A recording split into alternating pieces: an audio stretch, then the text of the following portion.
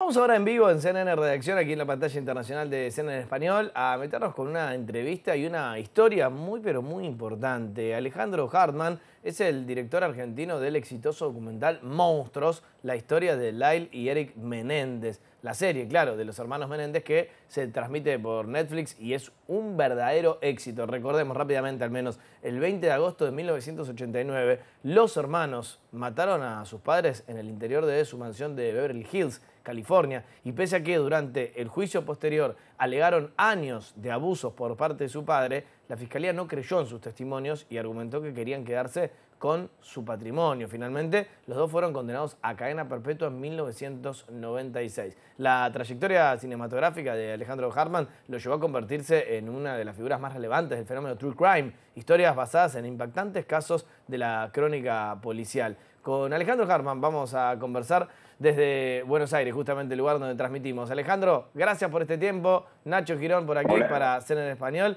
Y antes que nada, quiero consultarte cómo diste con esta historia internacionalmente tan relevante. Hola, ¿qué tal? Este, primero hago una aclaración. Yo, yo, hice el documental que se llama Los Hermanos Menéndez, de Menéndez Brothers, que también está en Netflix, junto con la serie Monstruos, que es de ficción, que la hizo Ryan Murphy, que es eh, un exitosísimo productor. Este, mira, para mí fue una sorpresa que me llamaron. Yo había hecho algunas cosas para Netflix, una serie en particular que se llama Carmel, quien mató a María Marta, que fue muy bien en toda Latinoamérica y en Argentina, y se vio en Estados Unidos. Y un día recibí un mail de una productora que me quería conocer este, de Los Ángeles, y, bueno, conversando me, me ofrecieron un poco a ver si conocía esta historia, que yo había oído hablar de esta historia, y bueno, me pareció un desafío increíble porque es una historia muy famosa y muy importante en los Estados Unidos. Mm. Em, que, por supuesto, justamente por, tu historia, eh, decimos nuevamente, ¿no? El, documental y previamente una, una serie, eh, ha generado un revuelo en redes sociales a tal punto que se volvió a insistir con la posible liberación o indulto por parte del gobierno de Estados Unidos, ¿no? Eh, digo, para, para marcar el, el impacto que no sé si lo esperabas en tu caso.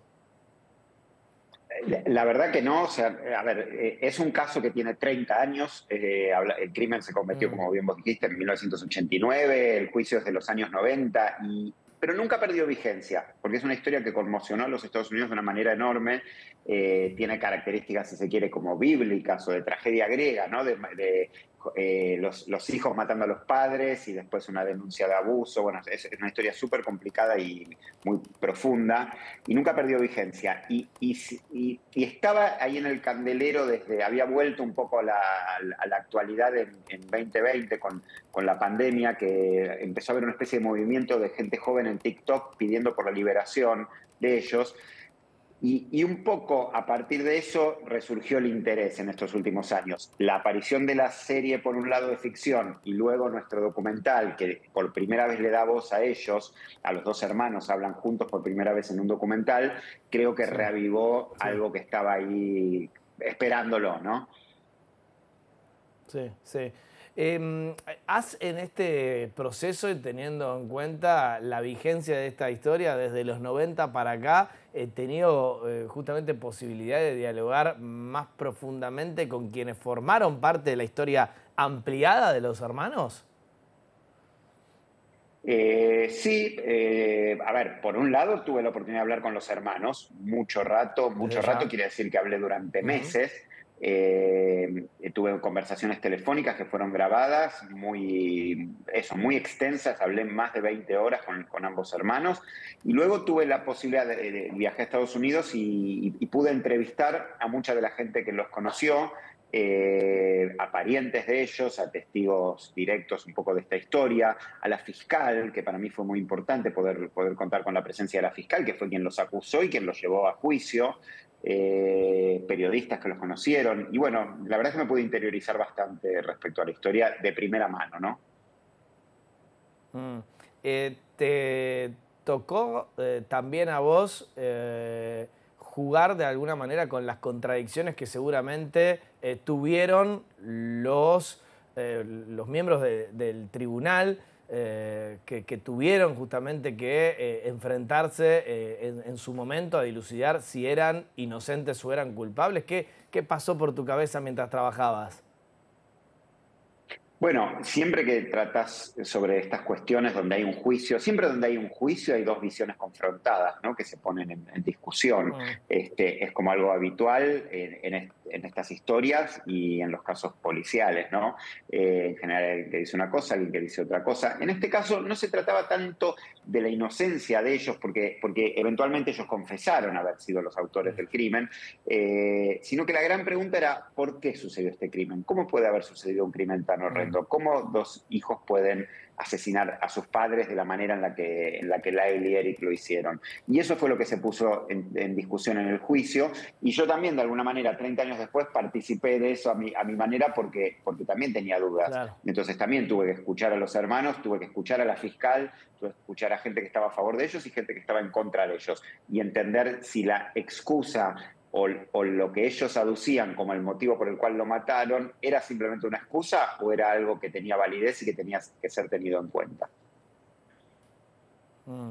Eh, ¿Qué crees que puede llegar a, pasar teniendo en cuenta, insisto, lo que comentábamos eh, más adelante, eh, que hubo, no sé si inesperadamente, pero bueno, sorprendió una movida muy fuerte, sobre todo a través de redes sociales, para que el gobierno estadounidense revea la decisión de un caso que, insisto, para las nuevas generaciones o para los más jóvenes, eh, estaba ya eh, enterrado y juzgado, más allá de la eterna polémica alrededor de los, de los dos hermanos. ¿Qué sentís eh, como director en ese sentido? Mira, yo creo que, digamos, si bien como te digo, siempre estaba ahí un poquitito abierto, definitivamente esto lo reavivó. yo creo que algo algo eventualmente podría pasar. No, no, digo, no puedo hablar por la justicia ni por el gobierno de los Estados Unidos, eh, pero creo que lo importante, lo más, lo más importante es que se hable de estas cosas, independientemente de Lyle y Eric. Mm. Yo en lo personal, esto es muy personal, yo creo que ellos han estado ya 30 años presos, creo que han pagado por, por el crimen de los padres y creo que sí fueron abusados de niños de, de una manera muy, muy horrible que eso sí debía haber sido tenido en cuenta, entonces creo, considero que la pena que les tocaba debería haber sido menor, entonces me parece que luego de 30 años ellos ya deberían poder ser liberados, que es lo que mucha gente piensa, pero creo que lo más importante es que estas historias de abuso sexual de niños, eh, de abuso en general de niños, porque no es solo sexual, sino que es sexual, físico y psicológico de niños, eh, estén, salgan a la luz, la gente se sienta identificada, haya gente que pueda hablar de sus propias experiencias y buscar justicia o simplemente hablar y sentirse liberados. Me parece que eso ayuda. Entonces, entonces independientemente de lo que pase con Lyle y Eric, considero muy positivo traer siempre este tipo de temas al candelero y que se vuelvan mm. parte de las cuestiones de opinión pública. Eh, por supuesto que la idea es que quienes no lo hayan hecho y les interese esta conversación que estamos teniendo con Alejandro Harman puedan ir a Netflix y, reconstruir esta historia eh, realmente tan exitosa. Eh, solo esto para que no pase largo. ¿Es, verdad que con uno de los hermanos has hablado del propio Lionel Messi? Sí, sí, sí, porque ellos, bueno, si ven, eh, tanto creo que en la serie también hablan de lo mismo, pero en el documental es una familia, era una familia muy con el deporte, estaban, el, padre les inculcaba mucho el deporte y han jugado fútbol, tenis, pero también fútbol y siempre les interesó mucho el fútbol, soccer, ¿no? Como llaman en Estados Unidos. Entonces, creo que el primer punto de contacto cuando empezó a hablar conmigo Lyle en particular, que le gusta mucho el fútbol y sabía que yo era argentino, un poco para romper el hielo empezamos hablando de eso. Era 2022, se venía el Mundial y él, él mismo sacó el tema de, de que hinchaban por, por, por la Argentina y, y hablamos un poco de Messi, lógico. Bien, bien. Eh, déjame hacerte esta pregunta porque sos argentino, proyectado internacionalmente, pero eh, habitante de un país que justo tiene hoy en tela de juicio, eh, vía el presidente Javier Milei, al mundo de la cultura, la educación pública nacional y hasta todo lo que tiene que ver con, con el mundo particularmente del cine. Eh, ¿te, ha llamado la atención este momento tan particular de la República Argentina? Y te pido si tenés alguna eh, reflexión al respecto. Sí, definitivamente es algo que a mí me resulta bastante doloroso. Digo, yo soy miembro de, la industria cinematográfica, audiovisual en general. Eh, siento que hay como un ataque bastante grande a eso y también a la educación, que todavía es mucho más grave, porque, bueno, en definitiva, el audiovisual es solo un sector.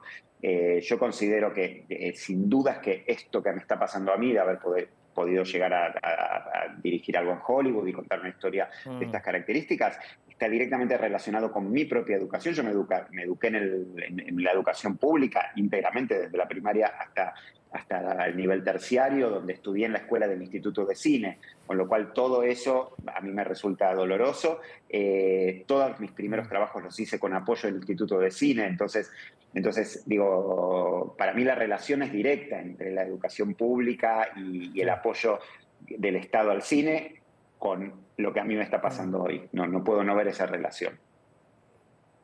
Bien, bien. Eh, Alejandro Harman, el director argentino de este exitoso documental sobre los hermanos Menéndez que pueden ver en Netflix, pidió perdón por el error involuntario haciendo referencia a la serie que por supuesto también pueden ver y muero de ganas de saber cuál es el próximo documental que seguramente está escrito en las paredes de allá al fondo, pero vamos a dejar el misterio. Te mando un gran abrazo, eh. muchas gracias. Gracias a ustedes. Ahí está, eh. seguramente el próximo éxito de alguna plataforma. ¿eh?